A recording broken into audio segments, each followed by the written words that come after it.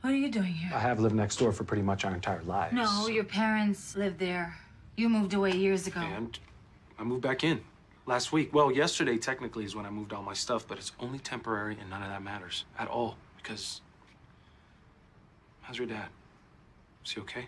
How are you? Oh, I'm fine, actually. Today's been great. Uh, I turned down a marriage proposal. My dad came this close to getting killed, so did I for that matter. But who cares? Because it turns out my dad's filled with cancer and promoting my would be fiance to be my new boss. Everyone's making decisions about my life without me. So yeah, my world's falling apart. I'm on my third load of laundry and as many beers. Things are great. Today's great. Come on in.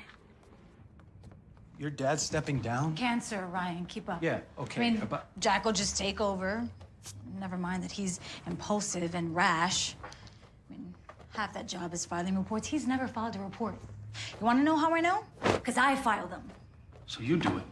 What? You should take over for your dad. Right. Why not? You're about as badass as they come. You've literally been training your entire life. It doesn't work like that. Jack made lieutenant before me. And who decides on that? Your dad? What are you saying? Look, I love your dad and I always have. Know that. But he loves having you around to take care of things, which is different than letting you lead them.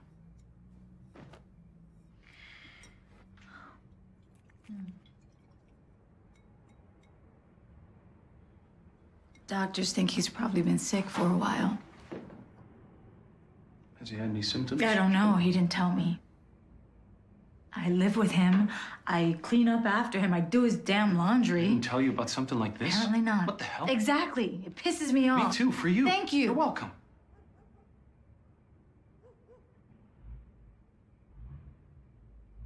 For real, though. I'm sorry.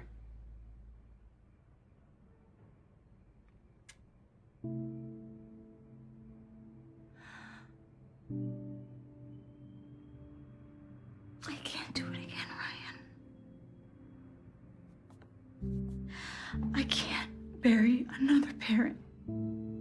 It'll be different this time. Before, you were nine. We were nine.